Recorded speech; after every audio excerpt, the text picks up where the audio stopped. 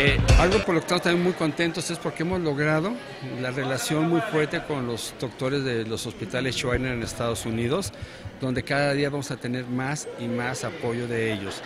Ahorita ya iniciamos con ellos una, un programa de lo que es rotación. Nosotros le llamamos rotación porque los doctores potosinos los vamos a mandar a Estados Unidos a que se capaciten. Va desde la enfermera, un cirujano general, un, cirujano plástico, eh, intensivistas, internistas. Vamos a mandar doctores de Zacatecas y de, y también para que ya se preparen. ¿Para qué? Para que nuestras mamás y nuestros niños ya no se tengan que ir a Estados Unidos y que tengan allá que estar hasta una, dos, tres semanas, un mes. Van a ser atendidos aquí en San Luis sin necesidad de salir de casa se quemó, tuvo un accidente con unos cohetes allí en mi casa.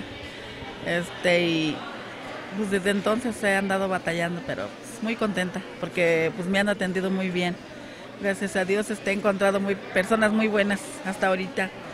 Y yo sigo, yo pienso seguir adelante con él, este, mientras que pueda, que Dios me dé licencia.